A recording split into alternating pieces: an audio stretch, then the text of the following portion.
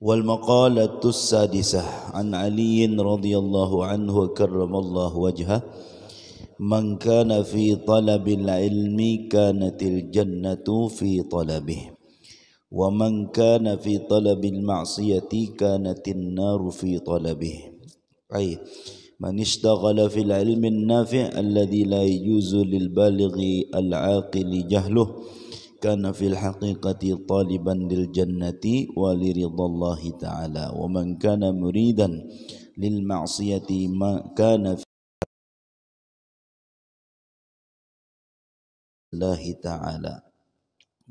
ibu-ibu, hadirin hadirat jamaah Masjid Al-Falah rahimani wa rahimakumullah. Bersyukur kita kepada Allah Subhanahu wa taala yang telah memberikan kepada kita taufik hidayah, kekuatan, kesehatan sehingga kita dapat berkumpul di masjid yang mulia ini hadir pada ta'lim malam hari ini. Mudah-mudahan Allah Subhanahu wa taala mengampuni segala dosa kita, dosa kedua orang tua kita dan mudah-mudahan kita bertahan diberikan Allah Subhanahu wa taala rezeki yang halal, yang luas, yang berkah dan mudah-mudahan kita bertahan panjang umur di dalam taat kepada Allah, mutabah kepada Rasulullah dan dalam keadaan sehat wal afiah dan mudah-mudahan kita bertahan mati dalam keadaan husnul khatimah. Amin amin ya rabbal alamin. Salawat serta salam semoga selalu tercurahkan kepada junjungan kita Nabi besar Nabi Muhammad sallallahu alaihi wasallam beserta sahabat beliau, kerabat beliau, istri beliau dan zuriat beliau dan orang yang meneruskan risalah beliau ila yaumil qiyamah. Amin amin ya rabbal alamin. Nasihat yang keenam diriwayatkan daripada Sayyiduna Ali karramallahu wajhah Man kana fi talabil ilmi siapa orang yang sibuk di dalam menuntut ilmu yang waktunya dihabiskan untuk mengajar dan belajar. Kanatil jannatu fi talabih. Maka Sesungguhnya nang ditujunya adalah surganya Allah Subhanahu wa taala. Wa man kana fi talabil ma'siyati siapa orang yang menuju untuk berbuat maksiat kanatin naru fi talabih maka sesungguhnya nang ditujunya adalah neraka. Karena taat nuntut ilmu kan termasuk daripada taat. Itu hakikatnya adalah tanda kita ditakdirkan oleh Allah mendapatkan surganya Allah. Kan surga itu nang menentukan hanya Allah. Adapun amal kita kada memasukkan kita ke surga. Kan kita masuk surganya dengan rahmat Allah. Tetapi tandanya orang itu mendapatkan rahmat Allah gawiannya adalah taat. Jadi kita sebagai manusia nang Islam nang baiman tanda ini kita ada akan di dalam diri kita. Baik itu zahir ataupun batin. Zahirnya kita beramal, zahirnya kita taat sampai waktu sembahyang sembahyang kita. Berjamaah dan lain sebagainya. Kawa puasa. Puasa nang sunat nih. Nang kawa. Amun nang wajib tuh kan berataan wajib. Kada kawa nang wajib tuh mun kawa kawa. Wajib berataan kecuali karena berhalangan. Garinggah nang bersengatan? Nang sunat nang kawa menggawi gawi. Ini puasa enam nih. Ya kan? Nang balum nih mepet sudah guru lah tanggal berapa? Sudah 20 lebih syawal nih. Nah, sempat aja masih mun ada nang balum. Atau nang belum habis. Ayo lah bisa kan kalau tang bina habis syawal nah, nang kawa gawi sebagai bentuk taat kita kepada Allah. Harapan kita sambung lawan Rasulullah. Bagi kita orang Jabani kan mengharap sambungnya kepada Rasulullah dengan taat itu tadi dengan ilmu. Ilmunya nyambung, kawa ma'amalakannya mudah. Mudahan dapat syafaat Nabi Muhammad sallallahu alaihi wasallam. Thank you.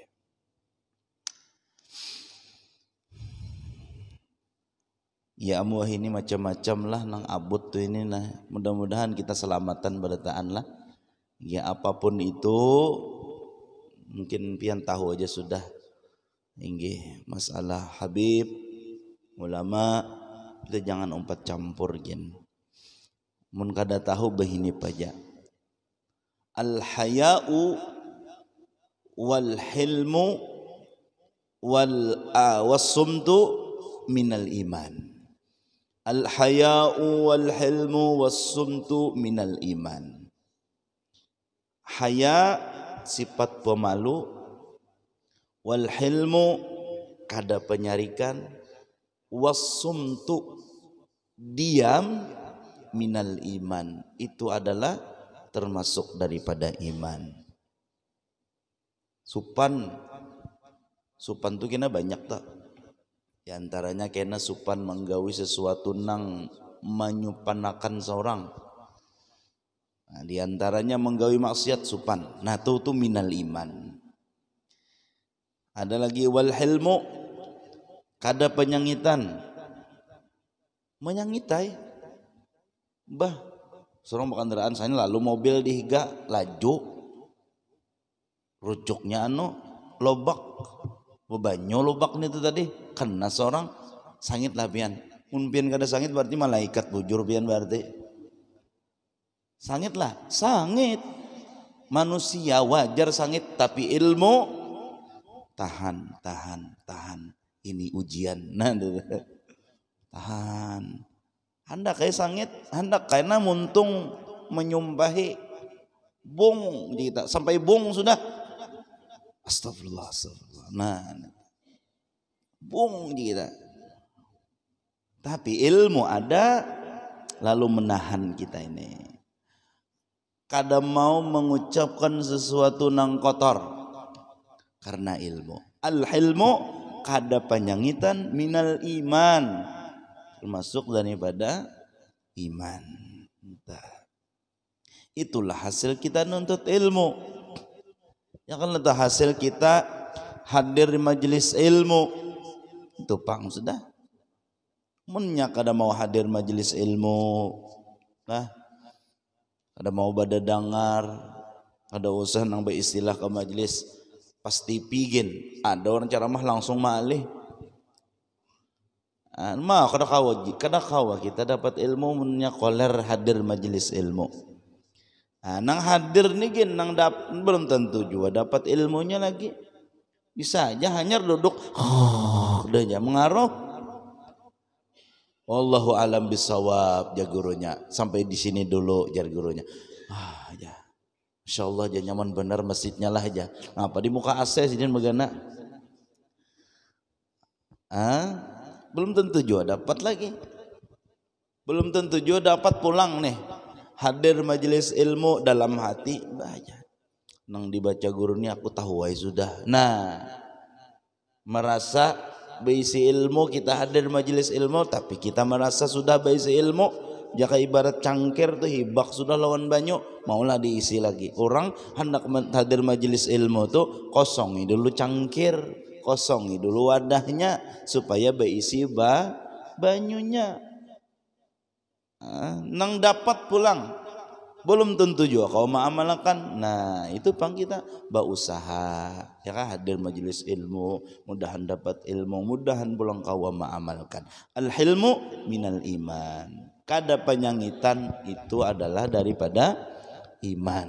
Jadi kalau kita nih kawa menahan amarah. Kawa ay sangit lawan anak kawa sangit lawan bini kawa sangit. Tetapi ilmunya menahan nih kawa kada sangit nah neta berarti itu tanda iman masih ada dalam seseorang tersebut. Hmm. Nang non muslim tupang ya kawainya kada penyangitan lain. Lain nang kada ba iman lawan nang ba iman sama kada penyangitannya belain. Kalau maaf nang kada ba iman inya kada pangit mungkin inya kawayan itu memang hendak kada menyangit. Tapi kalau nang orang nang beriman nih jadi kawa kada menyangit hendak menuruti akhlak Rasulullah. Beda. Beda orang menggawi sesuatu karena ilmu beda lawan nang kada ba ilmu minum tangan kanan sama tangan kanan. Nah ini minum tangan kanan nah ini minum tangan kanan. Tapi nang seikung nih beba anu menggawi sekadar menggawi aja memang kebiasaan. Tapi kalau nang seikung nih menggawi pakai tangan kanan memang hendak menuruti Rasulullah. Karena ilmu lalu ada nilai plus lawan orang tersebut. Dah nah kita lah kawa menahan sangit, kawa menahan amarah, kawa kada penyangitan. Mudah-mudahan niat kita tahu hendak menuruti akhlak Rasulullah. Mudahan dengan kaya itu sambung kita dengan Rasulullah sallallahu alaihi wa alihi wasallam.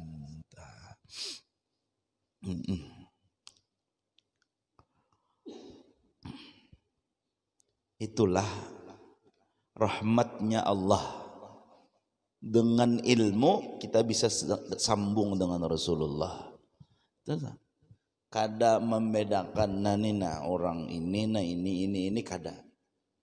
Kalau kita biar orang Indonesia pribumi bahasa orang tapi ilmunya nyambung lawan Rasulullah insya Allah. Di hari kiamat kita dicari Rasulullah mana umatku? Nah itu harapan kita syafaat Rasulullah itu nang kita harapkan. Jadi kita pian nih nang nang tahun nih pian mun sepalih nang tahu lah nang viral saat ini mun kawa jangan umpatan menyambati. Jangan gin insyaallah mudah-mudahan niat kita hendak selamat itu niat kita. Nggih. Apa gerang kisahnya Ustaz? Ya namun hendak betakun kena imbah majelis. Ini ada YouTube ngalih ya nak Anak betakun kena imbah majelis. Apa gerang saat kisahnya. Nah kita berkisah beristilah. Asal ada makanannya aja. Wal wasumtu nah ini nah. Wasumtu minal iman. Diam itu sebagian daripada iman. Kita ini kada tahu fakta sebujurannya kayak apa ilmunya kada kau kada kada ada jua hendak mencari ibu jur kadanya kada ada jua. Jadi mun kada tahu sesuatu itu tadi idah diam. Karena asum tu diam minal iman. Hmm. jadi pai mun bini pian tu berdiam di panderi kada menyahut makan apanya jawabannya sudah serah Diam, itu tuh berarti bini pian mengamalkan minal iman berarti. eh? Jadi mun kada tahu apa-apa udah diam lah, diam. Ilmunya kada ada juga hendak membahas ini udah diam daripada kita corocos-corocos kada tahu, ah, fakta sebujurannya kada tahu ya udah berdiam. Diam aja itu adalah jalan selamat kita. Nang kada penting kau dosa dipanderakan. Ya kah? Mending diam majigin. Kadang-kadang orang tuh katuju mengawani amun orang itu rami bepander.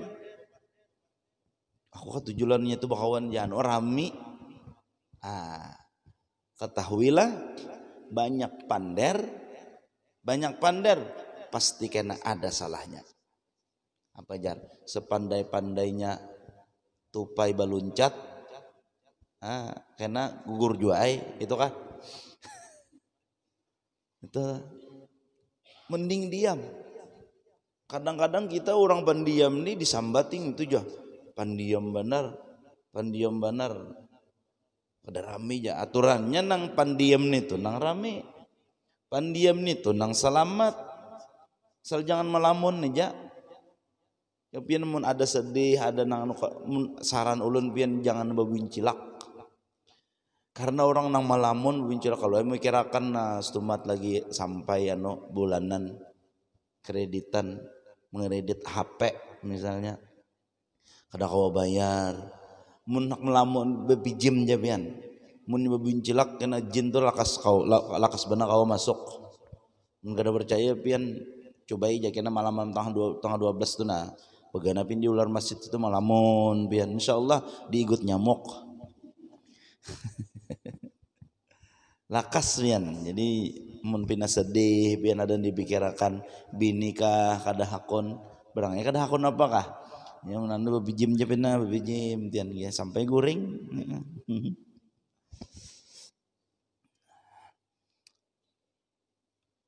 Jadi siapa orang nang menuju ilmu lah entah itu keluar negeri keluar benua atau tulak dari rumah menuju majlis menuju masjid nuntut ilmu. Nah sesungguhnya yang dituju tadi adalah surganya Allah.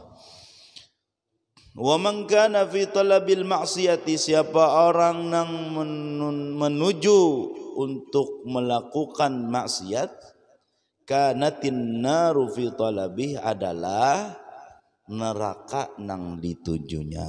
Nah, karena orang nang melakukan maksiat itu adalah tanda inya memasuki nerakanya Allah. Ya, ada orang nang model betauhid, orang nang bunyi pandar makrifat. Aku ni jaga sembahyang, Allah nang menghendaki. Eh, ada pian orang pengajian kini. Hendak pian mengaji nak itu. Aku ni jah kada yang Allah Taala nama hendaki. Bujur, bujur. Tapi tanda nih masuk neraka ya pian. Ada akun pang, ya kan?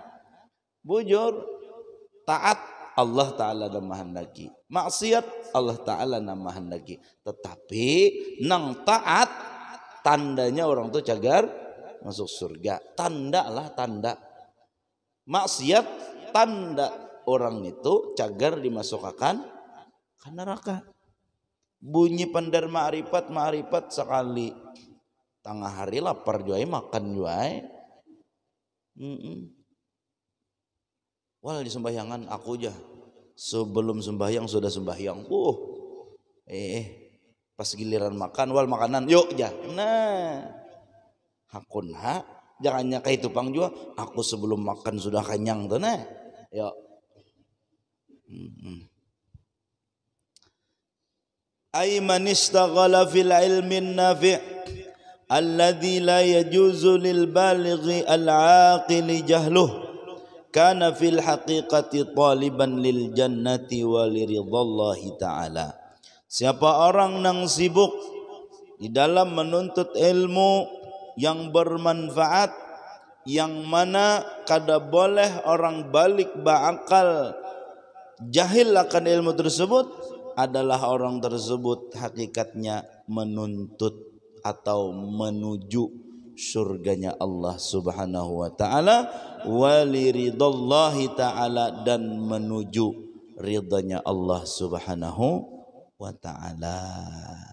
Jadi orang yang menuju nuntut ilmu hakikatnya kita kalah dalam hati ya Allah alhamdulillah aku nih nuntut ilmu ke masjid ke majelis ini sebujurannya adalah mencari ridhanya Allah Subhanahu wa taala.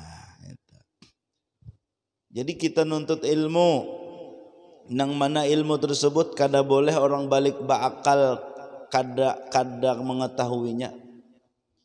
Nah, contoh misalnya uh, sifat ikhlas misal lah ikhlas ini wajib dan ini adalah sifat yang mulia dan ini adalah makarimil akhlak. Ini adalah akhlak yang terpuji yang wajib kita baisi. Beribadah nuntut ilmu berjamaah sembahyang berwirid bersedekah dan lain sebagainya wajib kita ikhlas karena Allah. Kenapa? Karena mun orang tersebut beramal ikhlas karena Allah maka amalnya akan diterima oleh Allah. Mun kada ikhlas, kada diterima. Dan orang nang bahagia, orang nang paling bahagia adalah orang nang kawa ma'amalakan ikhlas di dalam hatinya. Apa itu ikhlas? Ikhlas itu adalah hatinya kada mencari pandangan selain Allah. Tulak ke masjid berjamaah. Kada hendak minta lihat makhluk. Nang dituju, nang diunting adalah pandangan Allah. Ya di dalam kitab Dalilus Sa'ilin rasanya lah kada Al-Fawaidul Mukhtarah di sana disebutkan cara kita supaya kawa ikhlas adalah kita jangan menghiraukan pandangan makhluk. Kita jangan meitihi, jangan apa namanya? Jangan meunting penilaian makhluk. Kayak apa caranya?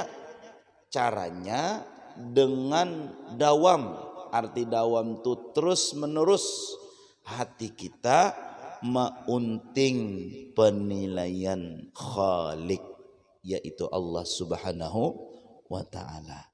Jadi penilaian makhluk kita abaikan. Kenapa kita abaikan? Karena penilaian makhluk ini kadada manfaat sama sekali. Misal kita minta nilai lawan makhluk jiran misalnya atau kawan. Tulak kita ke majelis taklim hendak supaya dinilai oleh kawan supaya disambat baik belum tentunya menilai kita baik. Bisa aja nya menilai aja kisahnya narai tulak ke majelis, kisahnya narai tulak ke masjid, bisa aja itu penilaian inya. Kenapa? Karena makhluk ini menilai manusia ini menilai sesuai dengan hawa nafsunya. Bilanya pas lawan nafsu inya, inya katujuk. Bila kada pas lawan nafsu inya, biar kita bujur, inya pasti menilai kada baik lawan kita.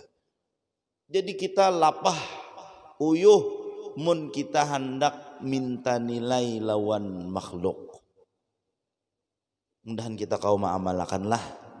Jangan meitihi penilaian makhluk kudusah. Batu saja berbaju berapi-rapi kudusah lagi. Ay kita berapi-rapi, bersih-bersih bukan hendak minta nilai makhluk, tetapi karena kita memang mengamalkan Quran dan hadis.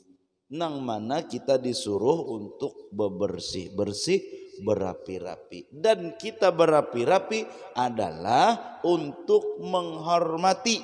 Misal kita ke majelis ilmu kita pakai pakaian yang rapi dan bersih itu me menghargai menghormati. Akan ilmu akan ulama akan pelajar atau nang hadir di majelis ilmu tadi.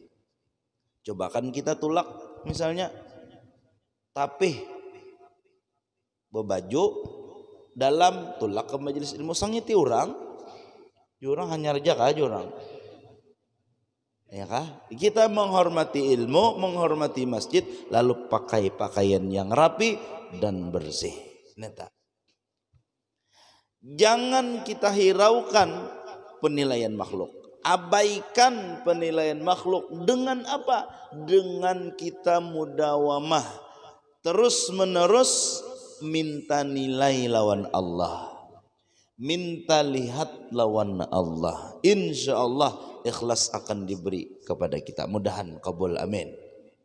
Mudahan kau mengamalkanlah puasa enam ya kan? Hendak minta nilai lawan Allah aja.